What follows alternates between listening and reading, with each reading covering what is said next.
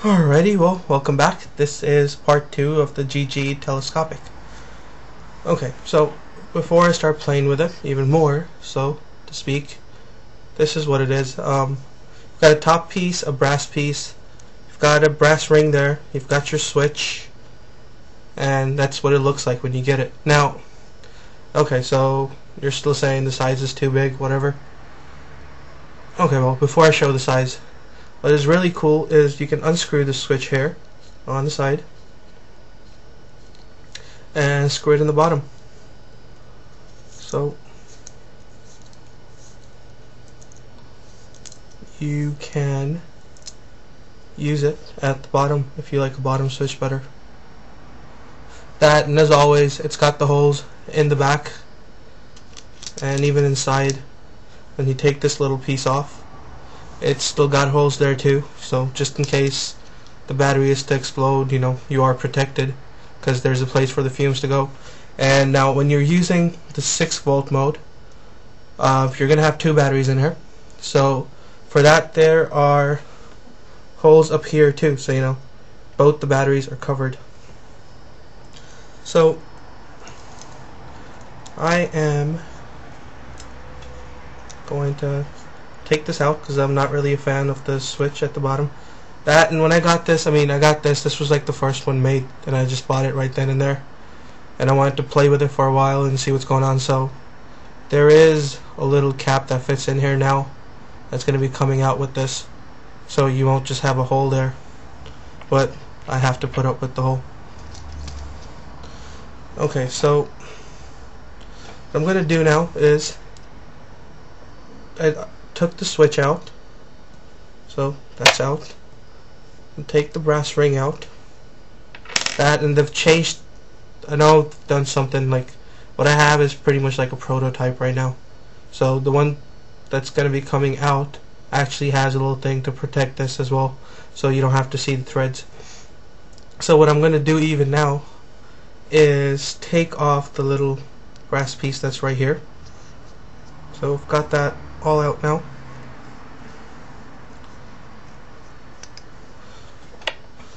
Out that comes and I'm going to unscrew the telescopic piece all the way out too.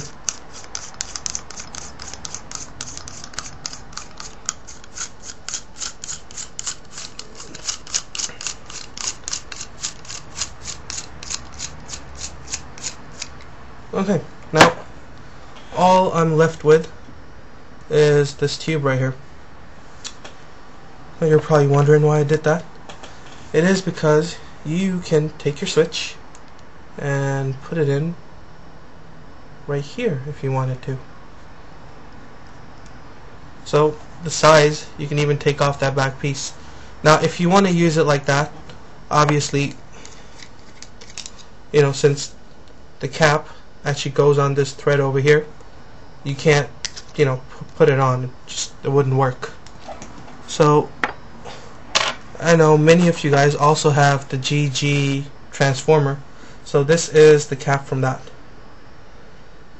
So you can take the cap from that and just screw it into this and there you go. Um, I do believe that is the smallest e-cigarette in the world and just to show you guys it actually does work. Let me just get a battery in here. Now I am using Uh, a CR2 battery and this was actually 3.6 volts. I got it off eBay.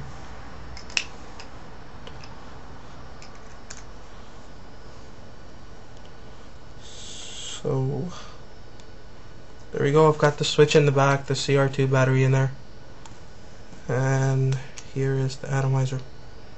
I'm hoping the battery's charged.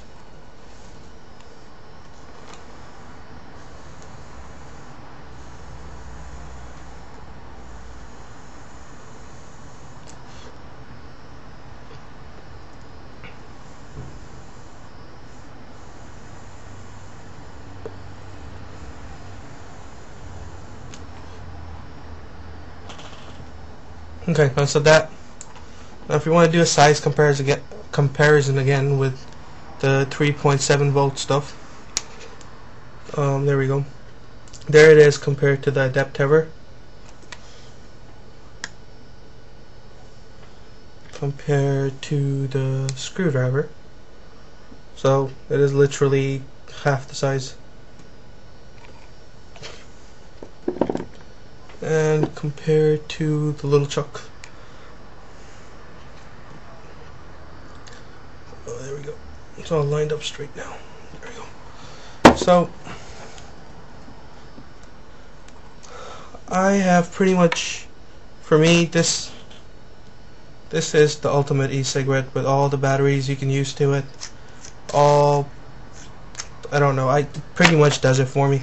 So I finally decided to stop buying new things, and I am actually so confident this. Um, I'm selling everything I own. Well, I mean e-cigarette wise anyway.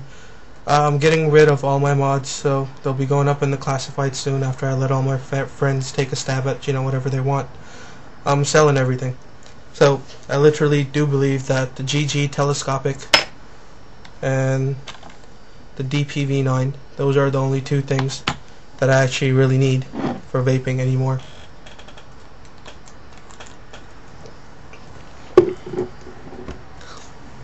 Okay, now I'm just gonna leave it like this. I'm not gonna put the whole thing back together, and I'll show you what the vapor is like and all that stuff in case anyone wants to see that. Though it doesn't really matter because the vapor always depends on the battery size. Got that.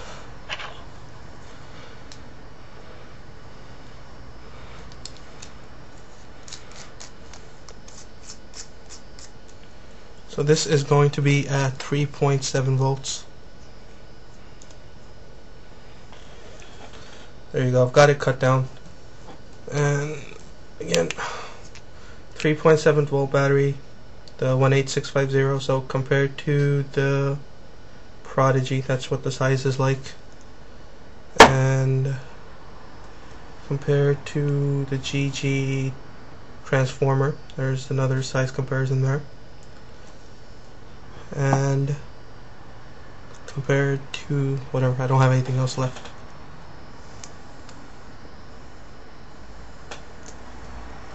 Okay, need a bit more juice in here. Though I'm using I'm using English toffee from thinkvapeliquid.com. So let's get a couple of drops in here. And here we go.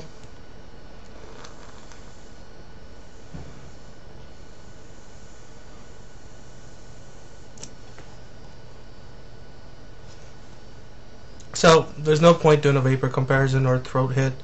That's all going to depend on the type of juice you're using. But as far as functionality goes, this pretty much hands down beats everything I have. I can use any single battery I find lying around the place in this. And all you really need as an accessory is the GG transformer cap, uh, a few magnetic spacers, and that's it, you're good to go.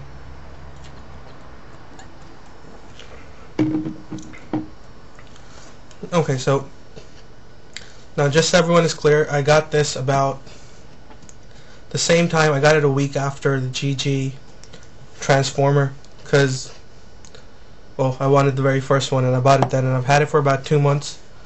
Um, I've had no problems with it.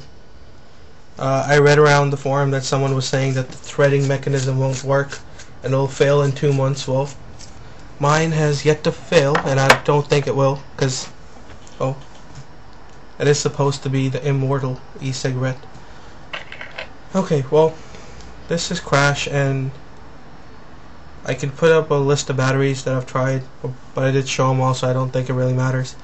And keep an eye out on the classifieds, because everything is going up for sale, because don't really need it anymore. I've got the one thing that it's like my ultimate vaping experience. Alright, well, this is Crash, and I will catch you guys around one of the forums.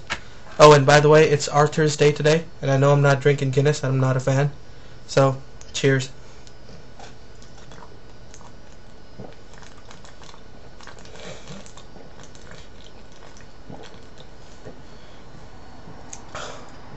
Wow. and I will catch you guys around the forums. Take care.